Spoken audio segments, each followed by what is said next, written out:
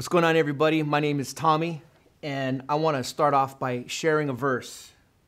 It says this Brothers, I do not consider that I have made it my own, but one thing I do, forgetting what lies behind and straining forward to what lies ahead. I press on toward the goal for the prize of the upward call of God in Christ Jesus. When I first read this verse, I was actually in a men's home.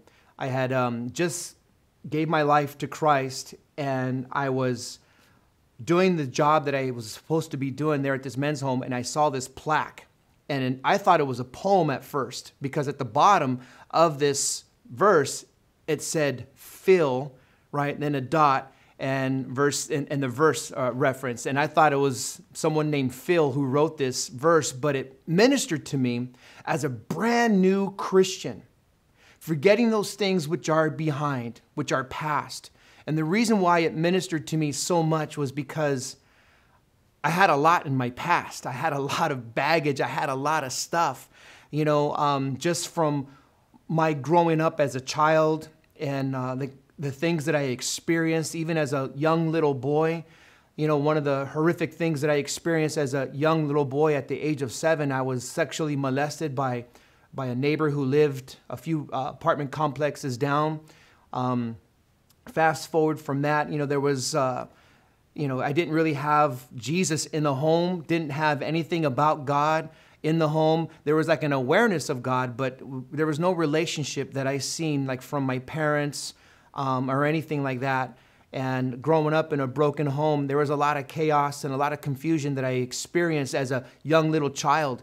Um, and I don't mean to say that my parents didn't love me. I know they did. I had a great family, but we were all lost.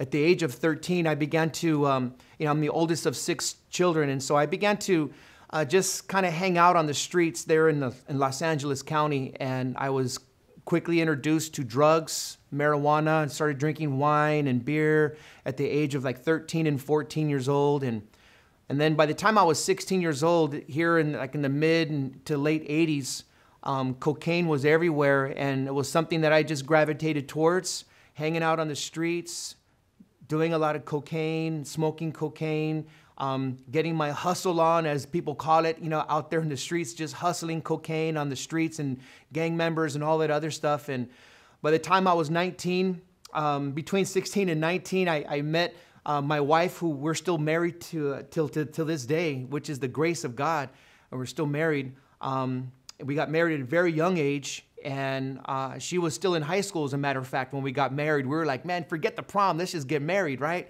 And uh, that's kind of what we did. And so there was a, a whole lot there. And, and one of the things that I, as I look back um, on that season and that time of my life, you know, um, it was one thing was missing. It was Jesus and everything else seemed to be available to me that, that was going to take away pain, take away um, insecurities, you know, take away fear. And that was drugs, alcohol, and kicking on the streets with the homies, you know, and all that other stuff. And, and, um, and I gravitated towards that. It was something that, that I um, kind of, you know, even glorified in my mind, you know, this, this kind of lifestyle of gangs and prison and drugs. And, and um, well, Unfortunately, um, that wasn't, it was all a lie. And um, I spent, at the age of 19, I started going in and out of the LA County jail. And a lot of times people think when you go to jail, at least there probably, it does happen for some people, but for me, it didn't happen like that. I did not, you know, want to change my life or anything. And so I, I ended up spending about six years in the California State Penitentiary System, close to six years, not exactly six, but close.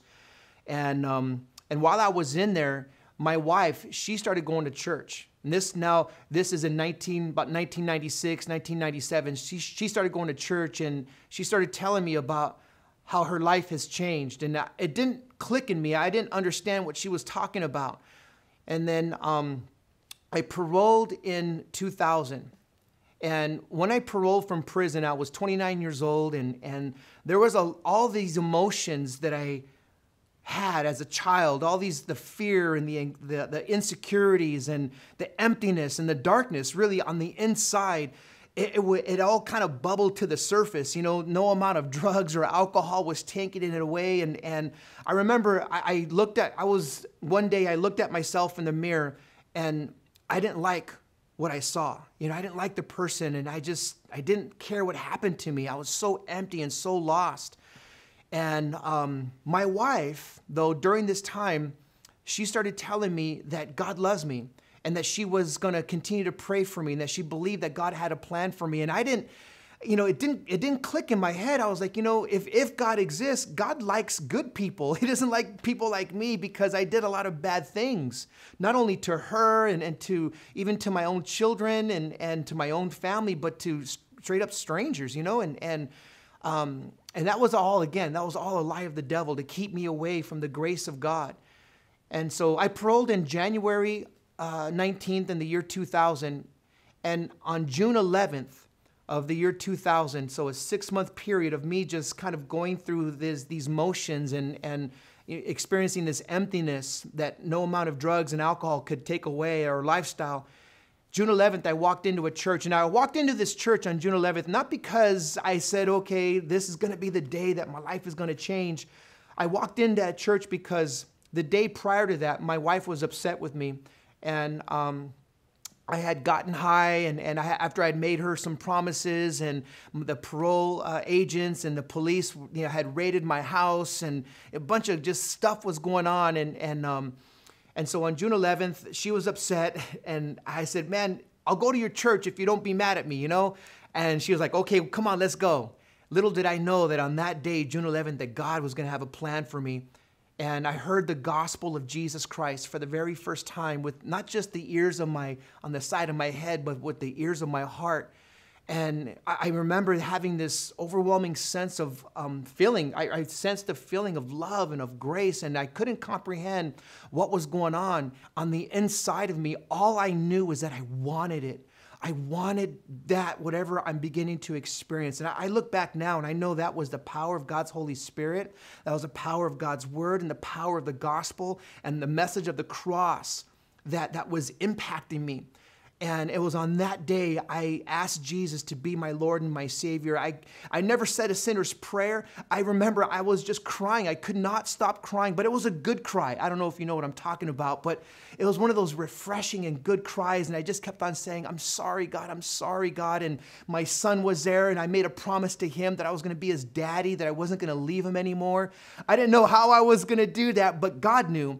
And so shortly after that you know i went into a men's home and that's where i saw this verse and and and in that verse that i just read there the apostle paul says i press forward. And i remember just beginning to realize once i realized that that poem was actually a verse in the bible god's holy word i said that's what i want to do. I want to press forward. I, I don't ever want to go back to what you know what i lived. I don't forget where god brought me but i don't want to go back to it and I want to press forward. And that's what compelled me, you know, the power of God's word to continue to press forward, to just grow in my walk with God. And, and it was during that time that my hunger and thirst began to just grow for, for God's word. And, and little did I know, you know, that, that God would have a plan to put a call upon my life, you know, not just to be a Christian, not just to be a, a you know, a Christian husband and a Christian dad, right? But to be a pastor, man, that's a that's a whole trip in, in and of itself, right? Because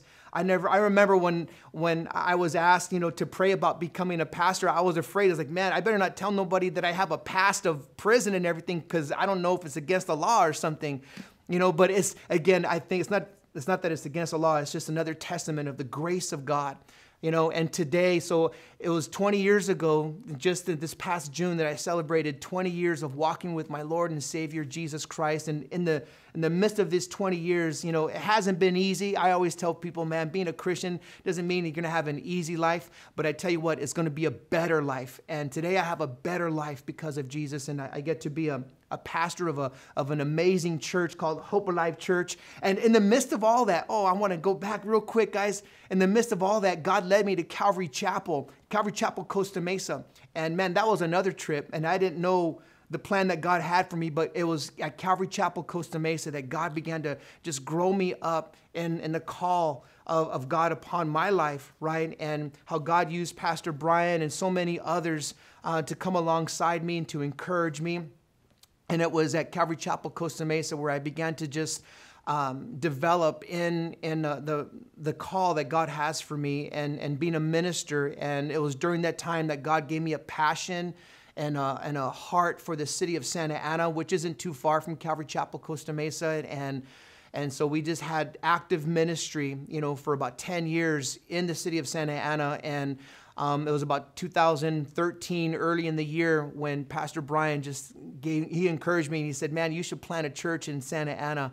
And, and that's what we've done. And so since 2014, I've been able to uh, have the privilege of serving the Lord in Santa Ana and, um, and interacting with a lot of young people. We do a lot of ministry to, to young people and into high schools. And one of the things that drives me for that is, is when I see a lot of these young people of what they're going through, it reminds me of some of the stuff that I went through.